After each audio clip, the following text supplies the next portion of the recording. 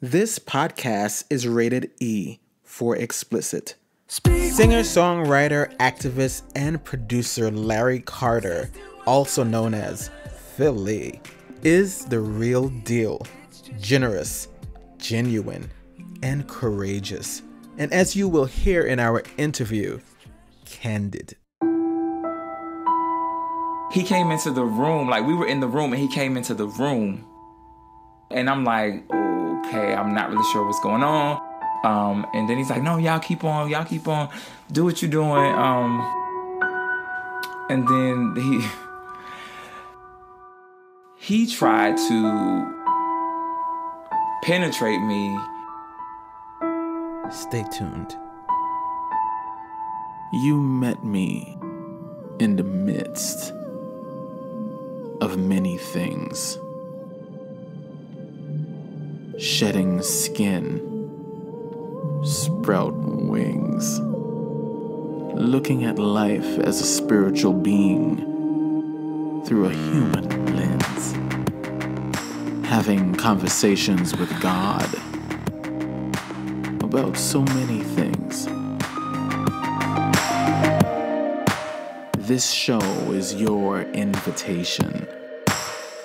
The poet God is the conversation.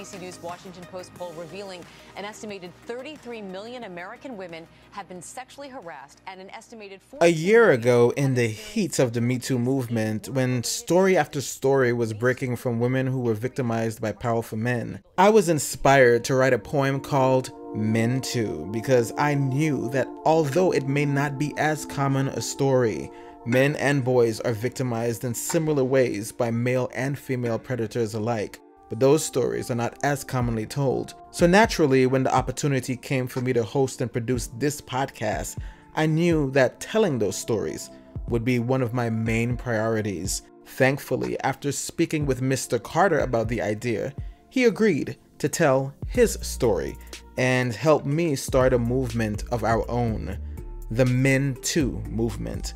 So, throughout this episode, you will hear that poem called Men Too that tells the stories of men just like you.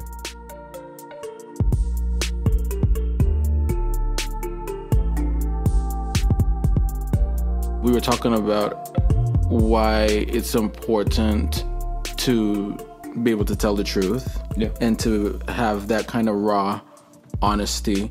And earlier, you had said um, something that I like to, you know, say all the time, and, and, and it's part of the gospel that I preach, which is that vulnerability is actually a strength It is. and it's a very very powerful thing um, and if you have not created a space in your community um, in your household where your friends your significant other whomever can feel like they can open up their heart to you then that's a big problem then you kind of have to question well how authentic are these relationships and if i can find my truth within this space and tell my truth within this space See, that's tricky. Um, so uh, I think thinking about vulnerability, though, a lot of people have been taught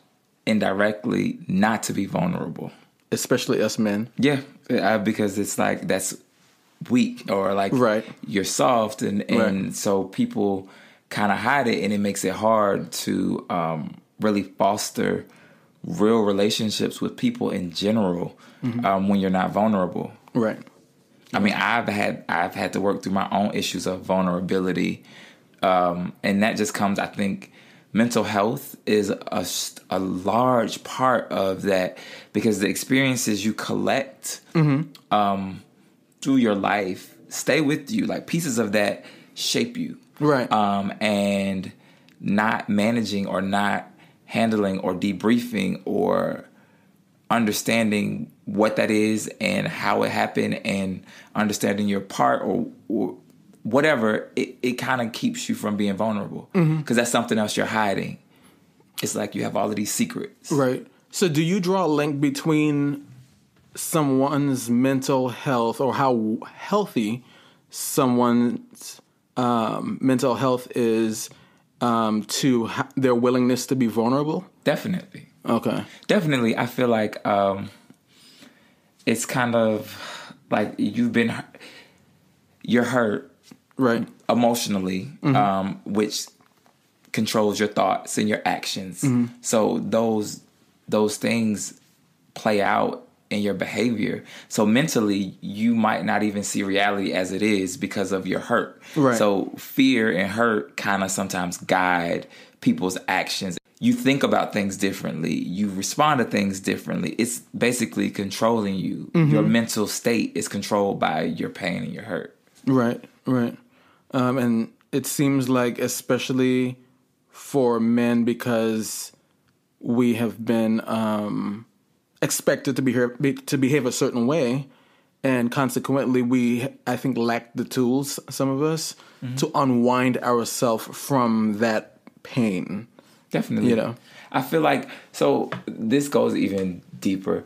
So when you think about, especially when I think about black men um, in general or black people in general, um, his history shows you like all of the pain and hurt that we've been through.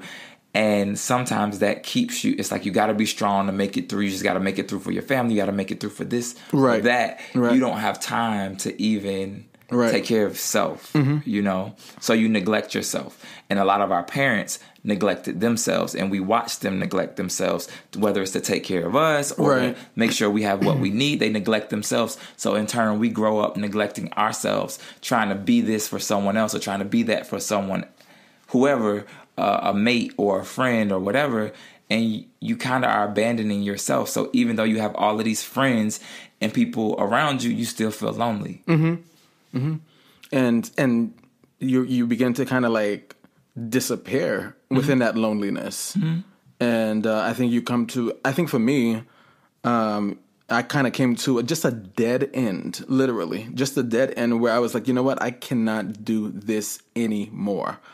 Um and especially as it relates to having been um molested as a child and having gone through that um and feeling like I had to protect uh, other people who were involved in that um, and carrying the weight of that. I, I carried it until I couldn't carry it anymore. I carried it until it was a choice between continuing to carry it and not continuing at all. And so I chose to continue without it. And um, for me, that was the beginning of a rebirth. I'm, I'm, I don't know if you know, but I'm 10 years old because 10 years ago I had a rebirth when I was uh, 27. And so I feel like I'm 10 years into this new person that I've now given myself the permission to be. And so um, I feel responsible uh, to tell the truth about um, that kid my grandmother nicknamed Kilo, uh, who I was, you know, as as a, as a child, and what he been, what he was, uh, what he had to go through, what he had to suffer through, and um, and I feel empowered to that because I don't care about the things that he used to care about, uh, and so one of the reasons why I wanted to do this uh, series um, is to talk about people um, like myself to, talk about and talk with people who had suffered some of the same things that I suffered through because I think um, being able to tell those stories and tell the truth about what it was and, and, and share with people what that experience looks like from the person who went through it directly is, is a very powerful thing. And so I'm, th- I'm, I'm, I'm, I'm so excited that you're here. So thank you. I'm happy to be here. More with Mr. Carter when we return. Hey guys, I'm Joseph, a member of the board, which is what Akil refers to as his community of friends and supporters. we all have something valuable to give. And sometimes it's as simple as giving someone else a reason to live. On behalf of all the board members, I want to thank you for listening to our podcast. Akil's success is our success, and we want you to be a part of the community we are building It's not enough. It's not enough. because you are the very foundation we must build it on. It's not enough to tell people that they matter.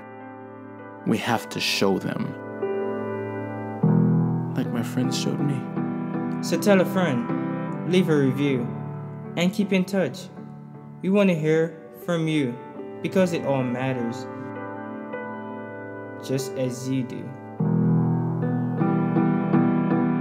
I was sexually abused as a child, and like I really didn't talk about it at all. Um, you know, and the funny thing was, is like like you, I had moved away and I started my own life, and then I don't know, it was a shift in me. Um, I went home and I told my mom and I told my sisters. Um, and we all sat there and had a moment and like they cried and asked questions of like why because it was this happened like when I was six Six years old. Okay. and so um, it was somebody who was around close to the family a family friend. and um and and the the thing about it was that um he wasn't like an adult he was like a teenager Okay. you know so that was like uh, a whole uh weird Dynamic. dynamic going, you know, because it's like, so this is another child doing this to a child. Um, but it the thing about it is that it spanned a time frame, like years. Oh, really? Yeah, you know, from like when I was six to about the time that I was eight. Okay. And I feel like um, he either thought I he thought I was old enough to tell and know that it wasn't okay. So then it transitioned to like whenever he would come around, he would like beat me up. You know, in like a playful way, but like kind of beat me up, like almost like to um like wrestling. yeah, but but more because Okay. cause like I was smaller, he was bigger, Right. And then like to almost instill the fear of like I could hurt you. Oh, I see. You see what I'm saying? Like I see. it was a whole mental game of like I could hurt you, so don't Hmm. Right. type of thing, you Right. know. And um, like I held it for a long time, and I, I think about the Me Too movement and everything, and everybody's always saying, "Well, why did you wait so long? And why didn't you say something?" And that's my mom asked me. She asked me like, "Why didn't you tell me?" And I, similar to you, I was like, "I did. I wanted to protect you." because I knew if I told you, it would shift who you are, it would shift how you deal with this person and people connected to this person. so this person is still a big part of the family. yeah. Oh, okay. So so you know what I'm saying? So Right. it's like it's not like Right. somebody who just went away. This is somebody that's still you know Yeah. around. Yeah. And um and I'm just like I did you see that person when you went back to uh, visit your family? um not that time but I have I have seen him Did you uh, were you were you able to ever? like we never had a conversation about it. Um, But I'm like, you know, Yeah, of and I, course. you, I mean, you know what I'm saying? Yeah. It's like I don't even, um, I don't even desire or need that from him or anything because I know you know better, Right. And I know you know what happened and and what the whole thing, um, and like my mom was just like, well, what do you want me to do? And I was like, I don't want you to do anything. I just needed to release this because I'm, the, I've been carrying this around with me everywhere I go. Right. You know, and now this is my time to put it down. You can do with it whatever you want to do with it. I'm not asking you to do anything. I just need to release it. Right. And Right. that's kind of where I was um, with that because that, so that has been like, and, and you know, the thing, um, when I think about Oprah and her story, how it happened several times throughout her life. It's happened to me several times throughout my life in different ways, in different phases. Um, like, so I when I started college when I was like 17, that's when I got to the point where I guess I was like exploring Right. um, and I was still living at home because I didn't want to stay on campus because if I did, then I would have a curfew and all of this other Oh, stuff. see. and you, you see what I'm saying? So not as much freedom. not as much freedom, and not saying that I was wanting to stay out late because I it wasn't, but I just I just didn't feel comfortable, Right. You know, um, and so like I was on this app, like uh, like trying to like meet somebody like my age or whatever. So um, I did. So I went, and it was like late. So I went to like sneak to. Um, meet this guy that was my age that I was interested in or whatever. And like he was like, "Oh, come come over." And I was like, "Well, you know, I pull up to the house. I'm like, it's like a huge house or whatever." And I'm like, "Okay, are your parents home? What is this?" He was like, "I don't live with my parents." So I come in and like we're talking, whatever, like in like we were kissing or whatever or messing around, just kind of exploring. However, the homeowner, which was um, a successful, um, I guess, like he was involved in the church Oh, in the area. So like he Okay. in a mega church in the area. Is so that right? he came into the room, like we were in the room, and he came into the room. In the middle of Uh, Yeah, okay. so and i'm like okay i'm not really sure what's going on. So you know like my radar is just like okay. Right. so i try to um and then he's like no y'all keep on y'all keep on. Do what you're doing. Um and then he he was like um oh get on the bed lay on top of him telling me to lay on top of him or whatever. And i was like nah. He's like no go ahead go ahead go ahead. So being stupid and a teenager i did and um and so in the midst he tried to like penetrate me Oh. like pull my clothes down and penetrate me while this other little so i'm assuming that like that's probably what they do but he did not um but like even that piece that Mm-hmm. Right. happening um it kind of shifted Yeah. my ex- my sexual experience because it was like to me like penetration now became like this power struggle because like I literally had to physically struggle To to, prevent out. Mm. yeah to prevent that from happening and get out of there and I got my stuff and I left and I, like this is the first time besides my husband that I've actually shared that with anybody Wow. because I was I didn't know uh I didn't really know what to do With that, yeah. because it was like I hadn't told my family um, that I was interested in guys, and like I just was in a really confused space, Right. and that just throttled me even further into confusion. Coming up, there's a word that Mr. Carter absolutely hates, and maybe you do too. But first, the poem that inspired it all. Here is Men Too.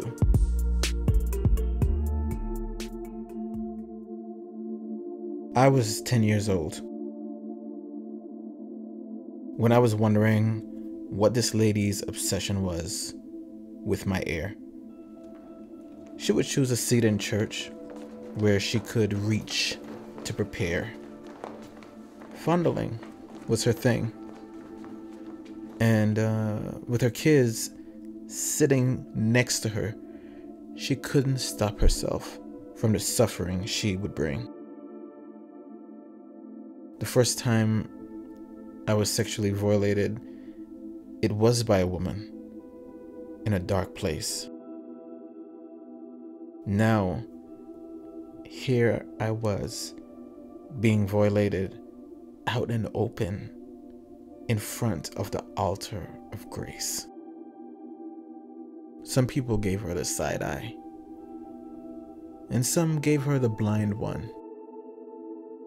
You know, it's funny what blind eyes see. They saw what happened to me.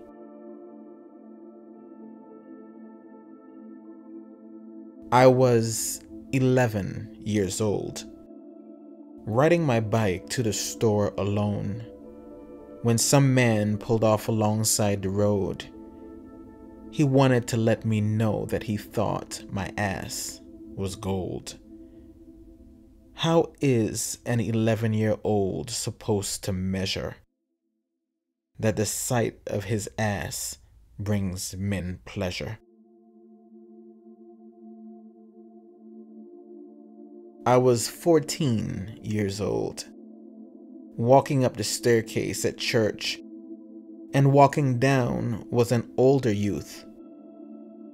He abruptly took my hand and put it on his flute.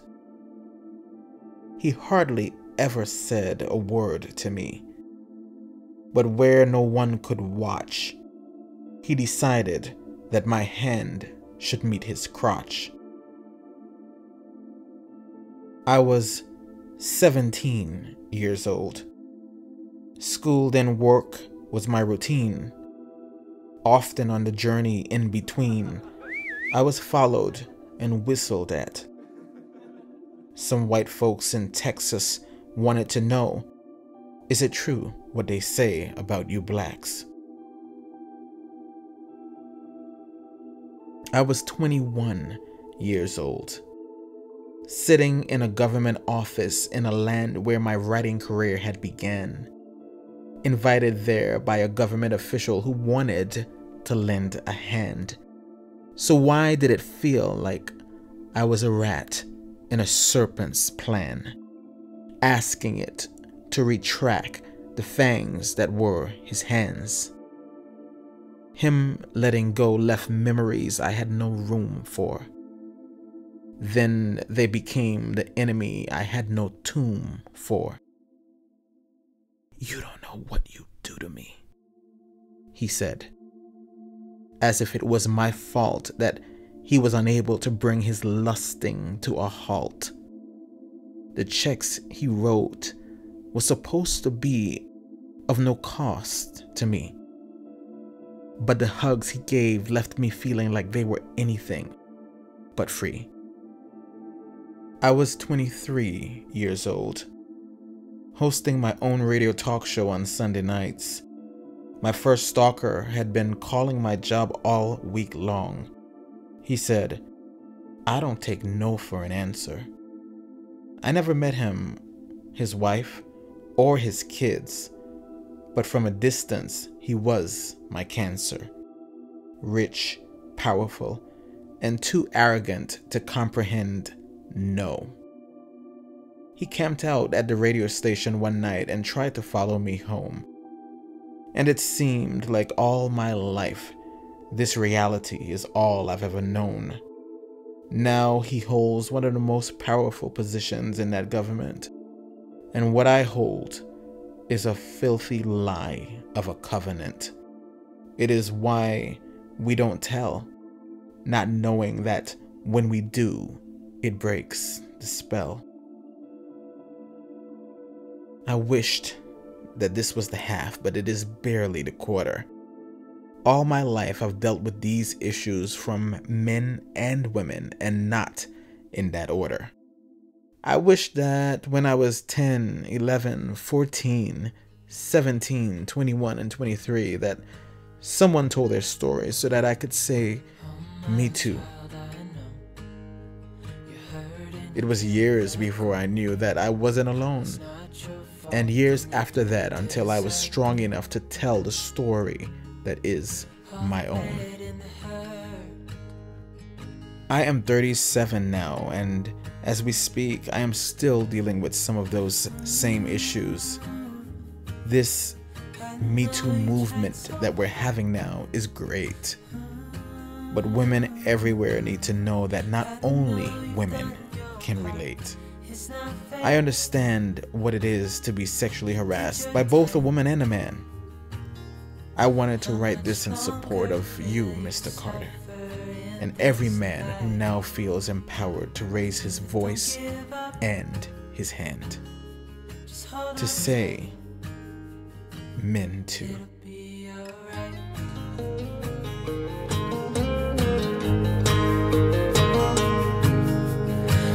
Your life you've tried to be a good man inside. Did everything that you thought you should. Didn't seem to do you any good.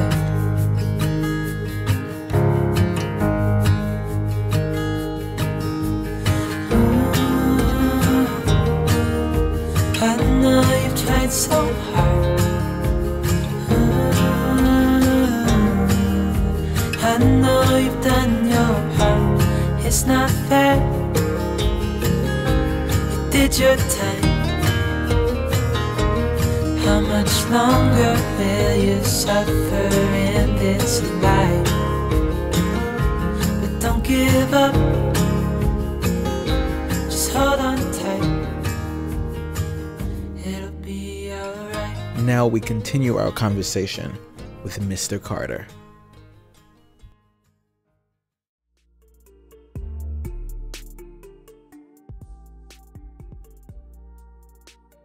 When you come out of an experience like that, um, do you kind of think to yourself, um, do you kind of blame yourself? How did how did I end up in this situation? Or why did you do it? Why did you go? You Why did you known go? better, you know, and um Did you it- don't.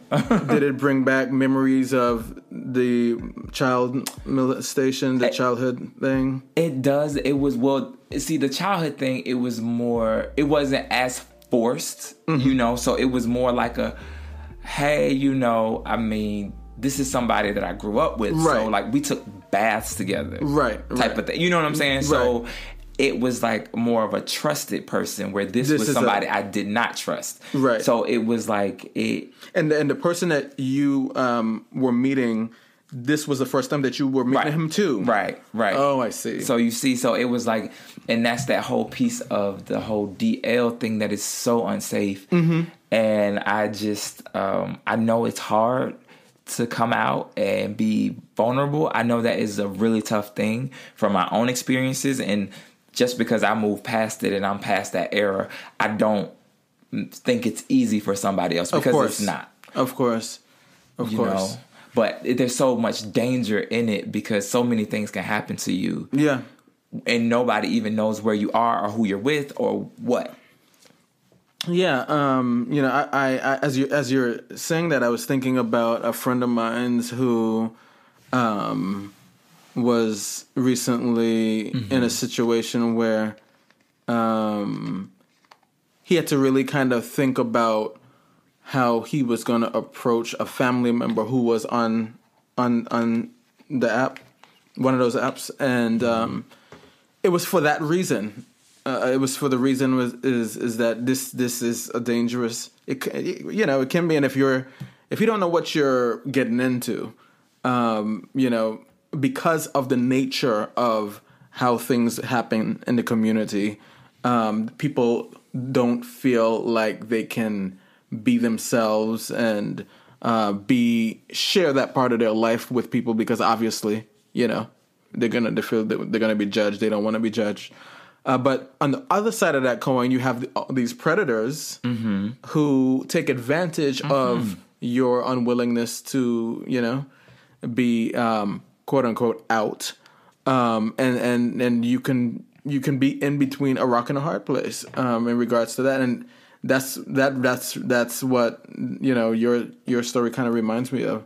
Um, so it did it feel in the, in a moment like you were like you had been set up, or did it feel like this the the, the person who was with you um, was a was uh, also being um, violated? Mm, I, I I think he was being violated too. Like he hit me up later and was like, "I'm sorry I that see. happened." I. Um, I didn't, but I didn't care. like at that point, I was over it, and I, I I definitely feel like he probably was somebody who was put out of his house for being gay.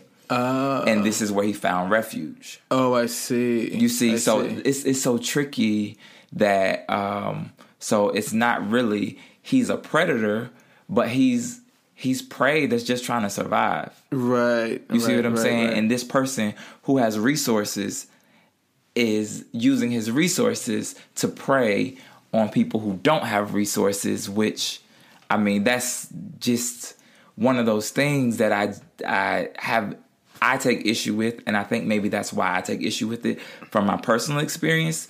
But I refuse to support anybody who I see use their resource or power to take advantage of someone who doesn't have the resources. That's why that Eddie Long situation kind of just really pissed me off because I was having so much triggers, for lack of a better word, from hearing those stories from, from those guys.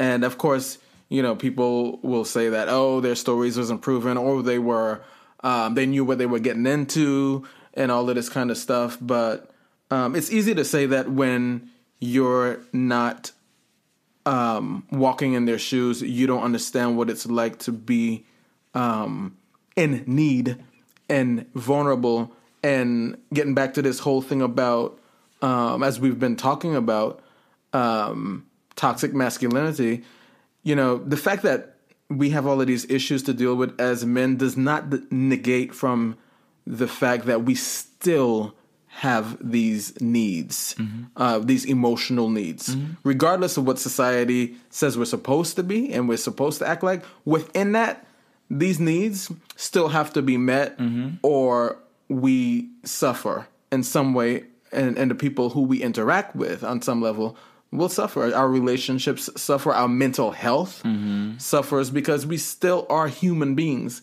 who happen to be men. Mm-hmm. you know? And I think the tricky part about that and, and something you said triggered a thought for me is it's a need. So it's like it's like this. If I can't eat at home, I'll go hunt and find something to eat. Right. I'm I'm gonna feel that need, that void that I have. It might not be the safest or most healthy way, but I'm gonna feel that void, and I feel like a lot of people ignore that. Um, people need connection, and yeah. and something you said too is like about the app. That's a part everybody has sex. Right. Well, most people. Some people don't. Um, well, a lot of people do, and and, and but it's so villainized. Like sex is such a bad thing, or you're such a bad person because you have sex. So it makes people almost shame to have sex. So they they have these secret sexual lives, and then it becomes this this hidden thing that they do that makes it unsafe. Right. Where you could, if you could be sexually um, active with however you choose to be, mm-hmm. you know, and, and and not be shamed for your sexual being. I think um, that's a huge part because people want to be accepted. So mm-hmm. if it means that this need that I have will cause me not to be accepted, I'm gonna hide it as long as I can and not do it as long as I can. But when I get the urge to do it, I might do it in an unsafe way. Whether that means I'm meeting somebody on an app that I don't know that could be a mugger that's gonna shoot me and kill me, or I'm I meet somebody and have unprotected sex because I don't I can't buy a condom, so because I don't whatever your reasoning or thinking somebody's gonna find out and you have unprotected sex which is not safe mm-hmm. you know all of these different things come about because of this shame like dl men stay dl because of this shame this shame causes them to unsafe behaviors because mentally uh you know it's like i can lose my whole everything that I am and ever known since I was alive, I can lose all of that because of this one piece of me. Right. That's scary. You know what I'm saying? It's like people people don't like it when I do this, but when when I think about slavery, mm-hmm. it's one master on the plantation and all of these slaves. Why wouldn't they just kill them and live on the plantation and act like everything is okay? Mm-hmm why not? Because the mental fear of what could happen. Right. It's not even something that has happened. It's the fear of the possibility is so negative that I can't even fathom trying to live a better life or trying to be authentically me because of the fear of this worst thing that could destroy me. Yeah. And anybody, you know, talking about slavery, if you um watched uh, Many Rivers to Cross, which was an awesome documentary. Um, that really goes into a lot of depth in, into what the culture of things were like, and actually, um, you kind of get a kind of visceral feel of what it was like to be alive during that time, you know. And I, I remember watching a couple of episodes of that, and I just wept at night after watching that because it just stuck with me. Um, I thought about what those people's lives were like. Um, I thought about how they never got to love the way they wanted to love. They, you know, where today we have the privilege to be having issues uh, on the table, such as you know, gay marriage and all of that kind of stuff. They couldn't even conceive of expressing love to the same sex at, at that time. You know what I'm saying? We had much bigger issues to talk about, you know? I mean, they couldn't even. Men and women, African American men and women couldn't even marry. So Right, it- exactly. so it was like you weren't even considered a full person. person. Yeah. but much like today and i mean i um i definitely want to say uh for trans men and trans women also that is something that i just am very um passionate about uh because i feel like they go through a similar struggle where people dehumanize them Of course, absolutely. because they don't walk their walk and it's like i don't understand no i don't know what it's like no but i know that you're a person just like i, I know am. that you're a human being. And that that is all that should matter. that's it Yeah. But you know what? Talking about um, you know, uh trans souls, um Transamerica. I don't know if you've ever seen that movie. I haven't. You have to see it. okay i'll check it out You have to see it. Transamerica just changed my life. It changed the way I looked at the trans community. Um, I think that movie did more uh, for humanizing that community than anything that I've ever seen. Um, and so I was I was really happy. Felicity Huffman uh, played uh, a trans um, woman uh, in it, and I think she did an amazing job. And so I highly recommend anybody who, you know, uh, wants to maybe challenge themselves to look at the community in a different light. You should watch Transamerica. You know, um, and talking about that, because th- one of the things that I feel like I have to keep saying and repeating to people is that if you don't understand a particular community, there's no excuse for ignorance. You don't have to agree with anybody's quote unquote lifestyle. Um, I hate that word too. I hate that word Don't you- so t- you know I- what? It annoys me. Well, tell me why Like, what hate- the fuck does that mean? like, I'm just like, what? what does that God. mean? there is like when people say, uh, "Oh, the gay lifestyle." Like, th- so what you're saying is every person that is gay lives the exact same way. Yeah. No, that's You know what I hate? absolutely incorrect. Yeah, I hate it because it sounds uh, to me in some way like you're marginalizing that group of people. you are. Yeah, it's Like- almost like um like uh how women in the south say um oh bless her heart. right, right. It is. It is because it's like, oh, the the black lifestyle. What the fuck is that? Like, you know what I'm saying? You would be upset if somebody said that to you, especially. And and Oh, I don't I, you know, I don't agree with your lifestyle. I don't agree with the black lifestyle. I mean, that's what racists say all the time, pretty much. What you know the what I'm saying? is my lifestyle? so I'm just Breathing. Saying, it's like you Loving, you know. because you don't know how to. I think. Just because you know, Take a breath. you know, it, it's it's frustrating because it's like it's just my life. Like I'm living life just like you're living life. So nobody ever says, you know, I just don't agree with the straight lifestyle. Like what the fuck? Right. I mean, excuse my No, this is I a usually don't podcast. cuss, but This is a it podcast. is like, what the fuck does that mean? Right. Like, do you even hear yourself? And then like, oh, oh no, I mean, you know, you know, no, I don't know because guess what? My experiences have given me something different. So I don't put anybody in a box. I I have friends from every facet of the earth and it's just like they are who they are and no Right. two are exactly the same when i think about it i have this friend named anne she's a, a white straight woman Mm-hmm. totally opposite of what i am and we have um we have a lot of similarities not because we we uh, went to undergrad, Mm-hmm. same program. We went to our master's program, same program. We worked at the same school. Mm-hmm. We had a lot of shared experiences through life, so we see things similarly because our shared experiences, not because she's white or I'm black or whatever. It's like, yeah, there are some things that are shared in different communities, but at the same time, we all have different experiences. So attributing me being gay to me having a certain quote unquote lifestyle is ignorant, it's limiting, and it's belittling my life in general. Oh yeah, You know? absolutely, absolutely. And, and I just, you know, I, I had to let you express that because if you didn't, I would have had to do it, and I'm glad that you did it. no, because it's something that um that I hear all the time. It's like one of those kind of go-to phrases that uh, people who are straight um, say to people who are gay, and they don't realize that it's uh, it's offensive and it's disrespectful, and um, you don't have to understand it. You don't have to. I don't expect you. I don't require you to understand it. I don't expect you to understand it. It's not a part of your universe. That's fine.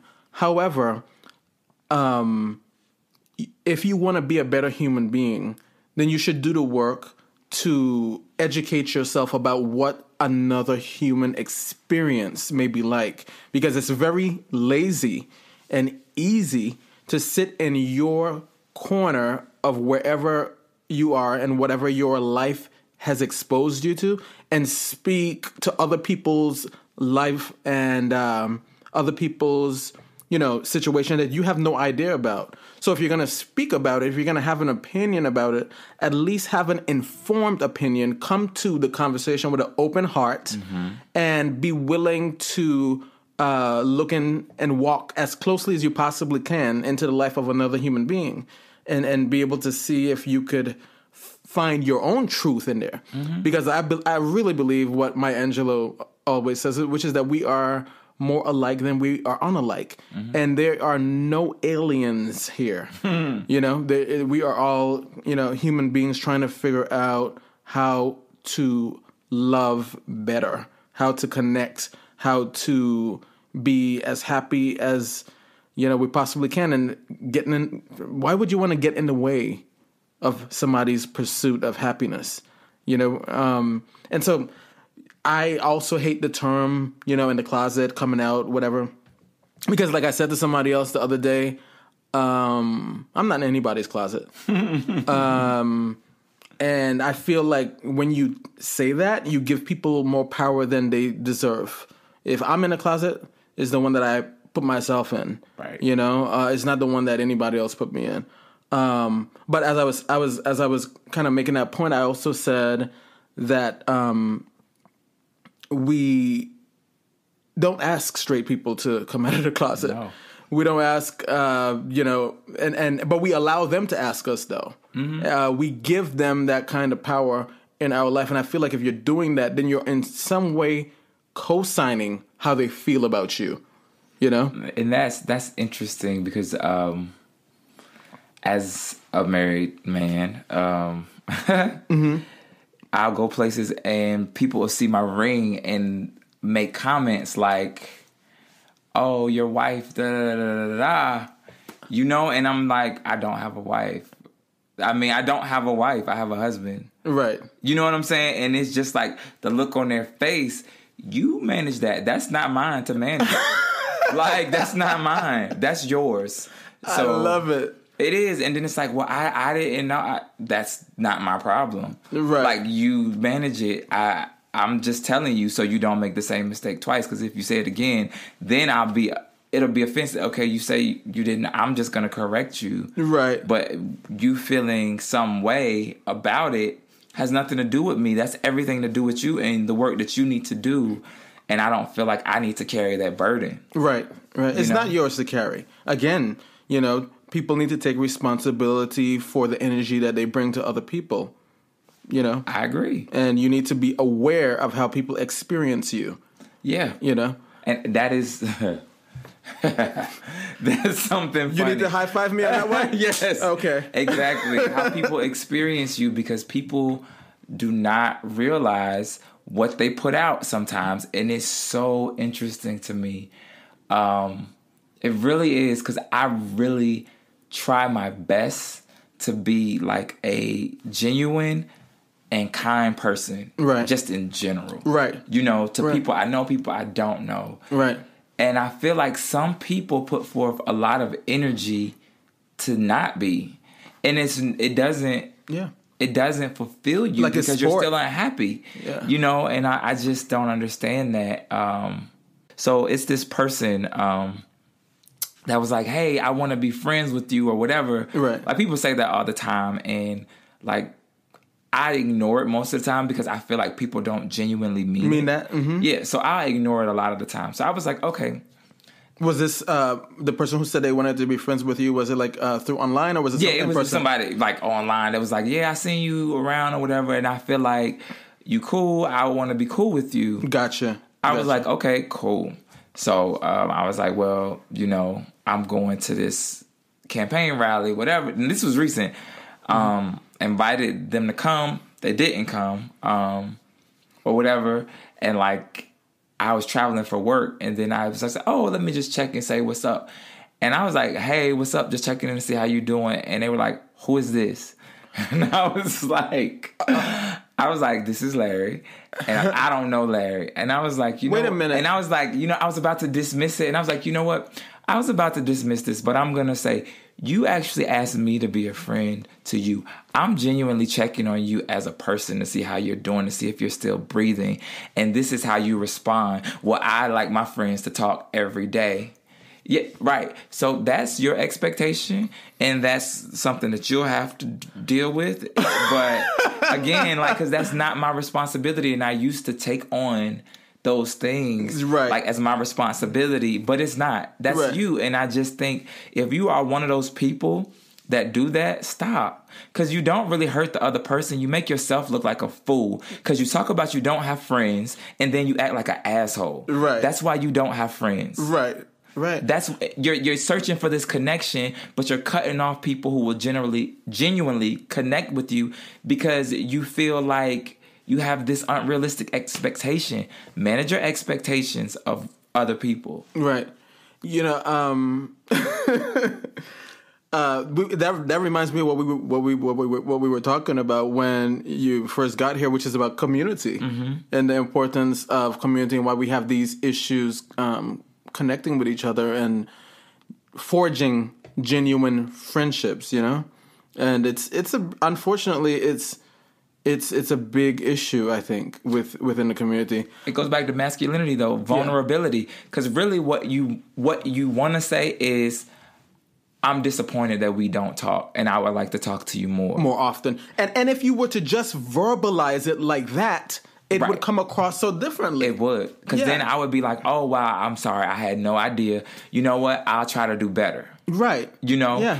that that changes the whole tone and the whole vibe. But when you come off negatively, it's like Like I owe you something. I, I don't owe you anything, and I don't have to be bothered with Right. you because my life is full without you. Right. And and you know the other thing is it's almost like the people who not that we all don't have these the need for friendship and companionship and all that, but it seems like the people who um have need for it the most are the people who are the least able to maintain those kind of connections. I was thinking that earlier. You read my thoughts. I I, I agree. It, it's true because they don't know how. They've never learned how to foster and maintain those connections.